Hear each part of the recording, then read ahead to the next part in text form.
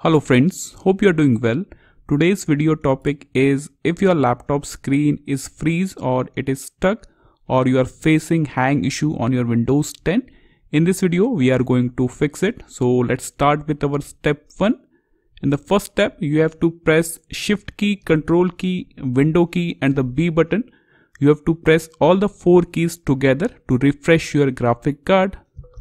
This is your step 1 now move on to step 2. If you are still getting the same issue, press Control key, Alt key and Delete key. Press all the three keys together to open your task manager.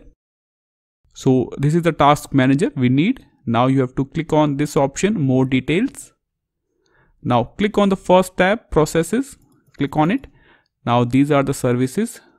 So now you have to search for a service called Windows Explorer this is a service windows explorer. Now you have to right click on it then restart this service. So simply right click on it then click on restart. This will restart your explorer and this will also fix your issue. Now move on to a next step. If you are still getting the same issue open task manager. So right click on the taskbar then click on task manager. Now click on this tab startup. So these are the startup applications which automatically start and these applications are also responsible to slows down your system performance. So you have to disable all the startup applications. So simply click on the application then click on disable. So disable all the startup applications. This will boost your system performance. So disable all the startup application disable all. Now move on to our next step to increase your Windows 10 performance. So you have to click on this Windows icon. Now type view advanced system settings. This is the option we need view advanced system settings. Click on it. Now you will see this small window. Click on this advanced tab in the performance column. Click on this settings option.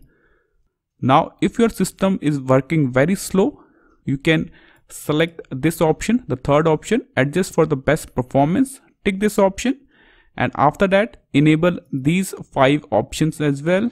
So this will boost your system performance. Then click on apply then click on ok then click on ok. Now move on to the final step of the video. Open this pc after that right click on your c drive then click on properties.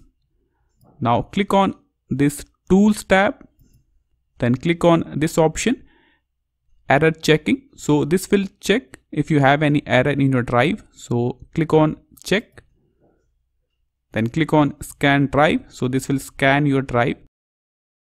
And this process will take around uh, 15 to 20 minute max. So you have to wait and after that restart your system and these step will fix or increase your windows 10 performance as well. So this is all for the video. Thank you